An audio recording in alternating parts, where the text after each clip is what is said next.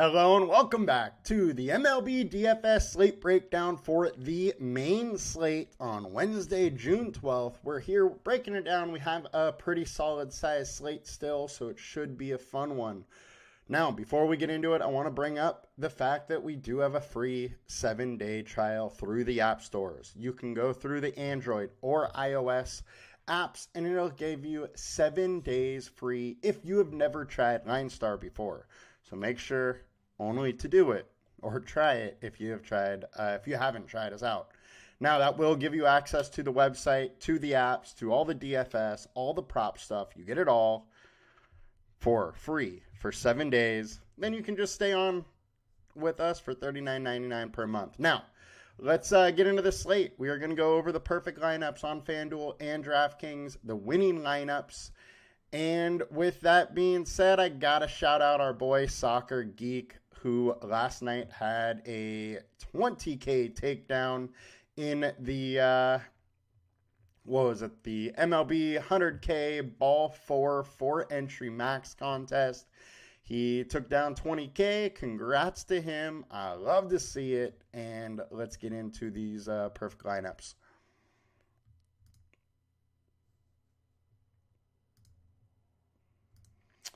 And we'll start on FanDuel. So we got Ronel Blanco, we got uh, Will Smith, two man, good old Rocky stack, and Ohtani and Will Smith. So uh, 2 2 and some one offs. And then the winning lineup on FanDuel went to B Smith 85, who had Kakuki, Kikuchi, Kikuchi.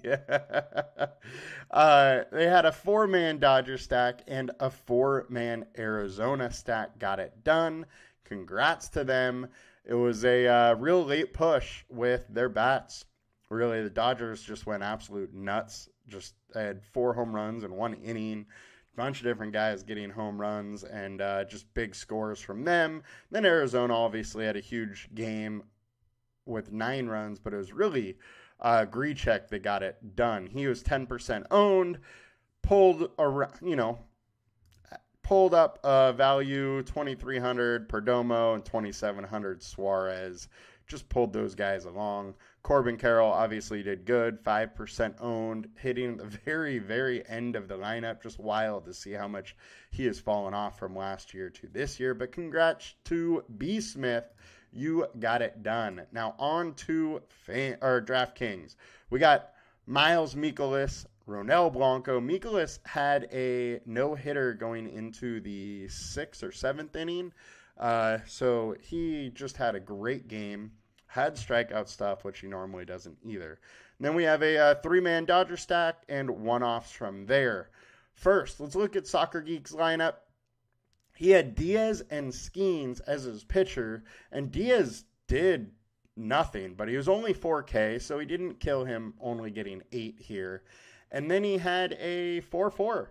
Looks like uh, four Dodgers, four Arizona. Uh, congrats to him. He got it done. I love to see it. And then the winning lineup in the bigger contest, 50K to first, also was Diaz, was Paul Skeen, and then they had a five man Dodger stack and three one offs. He got uh with uh yeah, so he had Grichuk, he had McMahon, he had Stanton, all uh, all got it done. So congrats to him. They won by 12, which is pretty wild, pretty uh pretty big edge right there from uh first to second. Also, it's a good thing to point out here that in the bigger contest, you needed 222 points, whereas the small contest, uh, Soccer Geek won with 198. Just way less entries into this contest. Thus, uh, lower score was needed.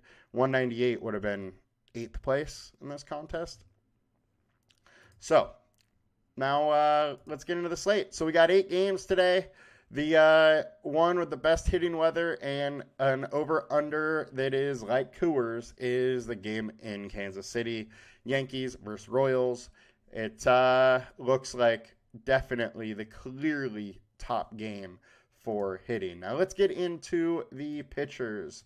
So our highest owned pitcher, Nick Lodolo, 9K. Uh, frankly, I don't think I agree with this ownership, and I would expect it to change big time throughout the day because it just doesn't make that much sense to me. He doesn't have huge upside. Oh, sorry. 28% K rate over the last 20. It's over the short term that he hasn't had the upside with only 21% upside. But FIP wise, low fours, uh, allows a ton of fly balls, moderate amount of hard contact. He's in uh, Kansas City, Great American Small Park, where he's averaging almost 39% less fantasy points away, and versus a very good offense in Cleveland that just continually gets it done. 326 wOBA. If you look at the short term, 364 wOBA, 211 ISO. It is a solid offense that I really don't like to attack, especially when a pitcher is high owned. Our projection is only 1.7x. Kind of surprised that uh, he's going this high owned. Uh, the consensus they have, you know, a little bit higher there, but uh, not too much not too much higher, not substantially higher. Next, we got Sonny Gray, who is clearly the most uh, veteran and, you know, best pitcher on the slate. And I don't mind him.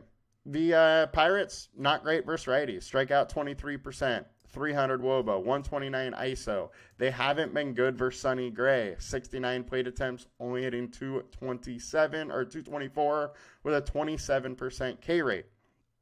He's allowed two home runs, but that's 69 uh, plate attempts. You know, that's over two games of plate attempts and has only allowed two home runs. So totally fine going here. His FIP over the last five is 2.76. 4.5 ERA over that span, but a 34% K rate. So big time upside.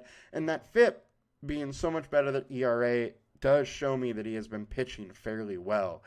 I am absolutely on board with uh, Sonny Gray. Definitely going to have some of him. Don't mind the spot whatsoever. Next, we got Bryce Miller.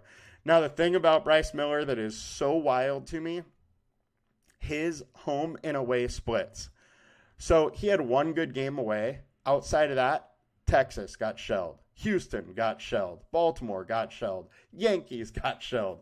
KC got shelled. Meanwhile, his home starts have almost all been great. Cubs did well, 6.1 innings, four earned, or uh, four Ks. Cincinnati, six innings, seven Ks, one earned run. Atlanta, seven innings, 10 Ks. Oakland, six inning, nine K, two earned runs, but still solid. Uh, Houston at home, six innings, six Ks, two earned run, and Angels, six Ks, or six innings, nine Ks. He is averaging 56.5% more fantasy points at home during his start. He has a great matchup versus the White Sox, who just aren't very good. Um, so I am intrigued. The the data though 4.24 over the last 20 uh, 4.83 FIP over the last five. The K rate not super high. The issue here is these numbers are all you know combining the away and the home starts. The actual splits are starkly, you know, just crazy different. And uh, I got to be a little bit intrigued, even though from a stats point, just looking at his total picture, it doesn't look too great. However, if we look the splits, the home and away splits, it is much different, and I'm definitely intrigued. Definitely gonna uh, have some next. David Peterson clearly is in play here at only 6,300 at 2.3x. Uh, he's been pitching well, 3.83 FIP, 4.22 over his last 20, almost 25% K rate. StatCast data looks okay. He's in a good matchup at only 6,300 and having a 23% combined K rate. I am absolutely intrigued and I am surprised he isn't higher owned. Uh, maybe he does when you know all the cards flip, but uh, definitely on board there. Next, Christopher Sanchez. This is another guy with huge home and away splits. Averages 63% less fantasy points away. Uh, Boston, however, versus lefties has been absolutely awful. 28% K rate, 280 uh, wOBA, 92 ISO. They have been awful. I think uh, you can absolutely sprinkle in some uh, Chris Sanchez today. His FIP has been great. The only issue with him is the K the K upside. He only has a 22% K rate. We have a 24.6% combined K rate, which is decent, and it's just bringing up the uh, this Boston K rate where they're striking out so much. That is why that combined K rate is decent in this spot. But we have seen those games that he does good. You know, he gets six, seven, eight, ten Ks. So he is possible of getting that elevated K rate when he's really on. So I am intrigued a little bit. Oh, next, uh, Tanner Bibee.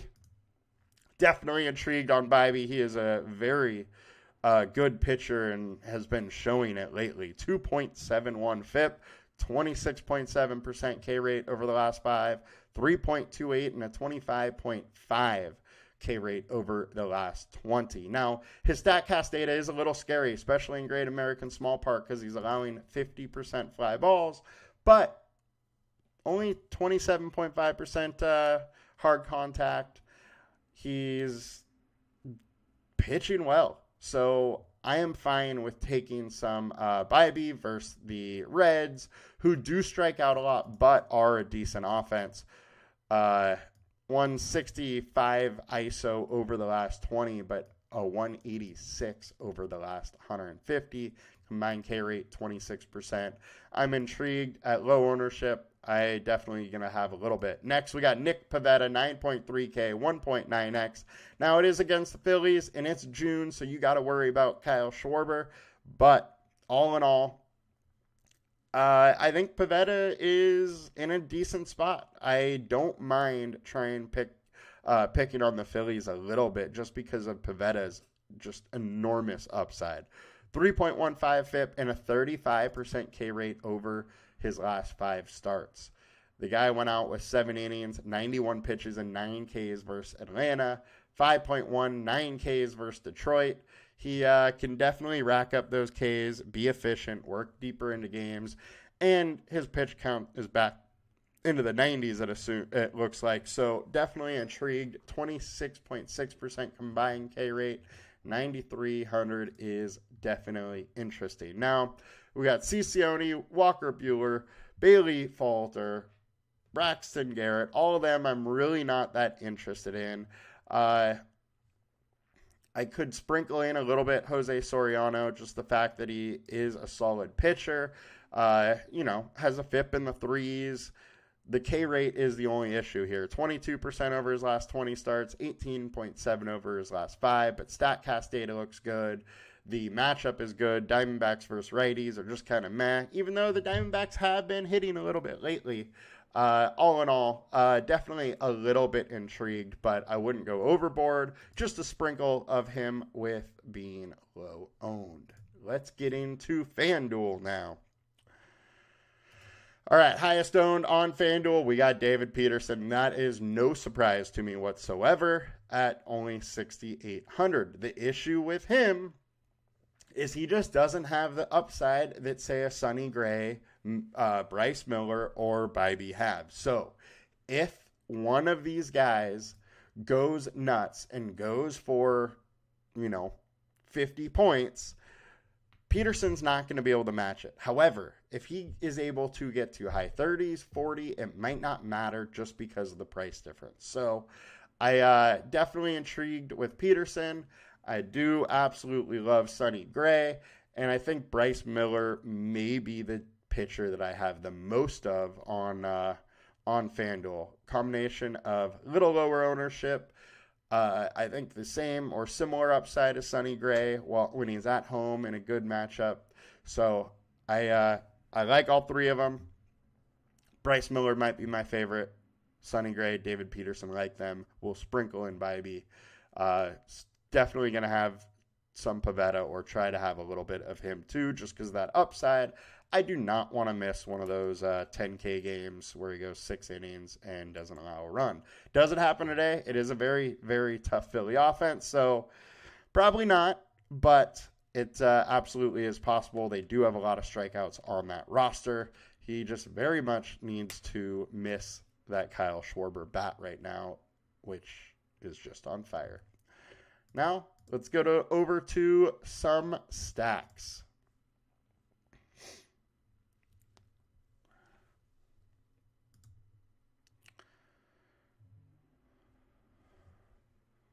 Let's have some coffee here.